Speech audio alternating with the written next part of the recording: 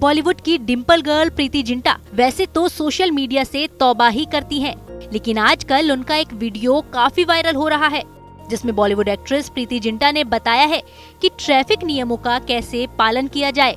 प्रीति ने अपने Twitter handle से जो वीडियो डाली है जिसमें दिखाई दे रही है कि एक गाय सड़क पार करने की कोशिश करती है लेकिन रेड लाइट पर बाकी गाड़ियों के साथ ही खड़ी हो जाती है और सिग्नल ग्रीन होने का इंतज़ार करती है। वीडियो शेयर करने के साथ ही प्रीति ने लिखा, इसे देख के सीखो, ट्रैफ़िक रूल्स कैसे फॉलो करते हैं। लोगों की बात तो छोड़ो, हमारे यहाँ तो गाय भी ट्रैफ़िक रूल्स फॉलो करती है। अगर यकीन ना हो तो ये वीडियो देखें। प्रीति के इस वीडियो को अच्छे रिएक्शन मिल रहे हैं और वीडियो काफ़ी वायरल भी हो रहा है।